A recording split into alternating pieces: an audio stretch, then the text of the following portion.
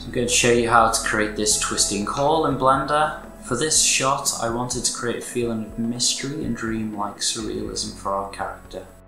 So let's get into Blender. Okay, so I've modeled a piece of a hall here. It's quite simple as you can see, very basic modeling. If I just go into edit mode, you can see it's very low poly as well.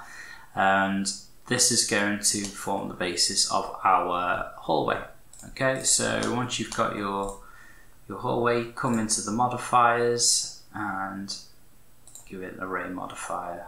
Okay, I need to switch this to be on the y-axis. Okay, now we've got two pieces of hallway. I'll just crank this up, crank it up to 50. We've got this super, super long hallway. Okay, right now we're going to, let's position our camera to find a nice position for our camera. Okay, that gives us our camera more or less in position. Let's see if we can straighten that up a little bit. Zero on that axis, zero here. Okay, so that's looking straight down our hallway now. Okay, excellent. So now really to create the twisting effect, again we'll go into the modifiers. Going to add in a deform modifier and it's just going to be simple deform. And we get this crazy thing going on that looks awesome but it's not what we're after so we need to change it to Y. And then you can see hopefully you can see that that's beginning to twist our hallway okay?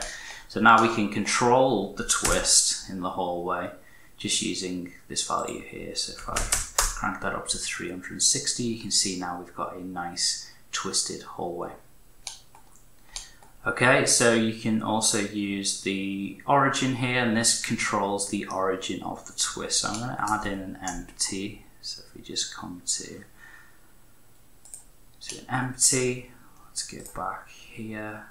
We'll just set that to the empty we've created. So if I now move this empty along the hallway, I can control where the twist begins, which is very, very helpful you could have your character at the position of the empty or actually use your character as the, the origin point for the twist and you get a really nice, really nice effect.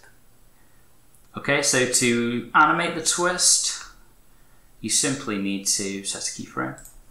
So let's just set a keyframe here just by pressing I over the angle. Let's come forward Let's go forward just 100 frames. we'll go to 360. Let's uh, move that empty back, back to the front. There we go. Let's look down our camera and you can see now if I just press play on the timeline you get this really nice twisting hallway effect.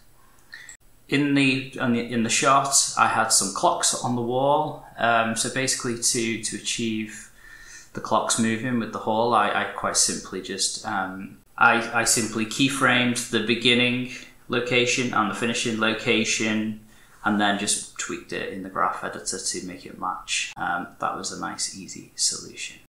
And this is the final shot from my animated film Time. If you haven't seen it, please check it out.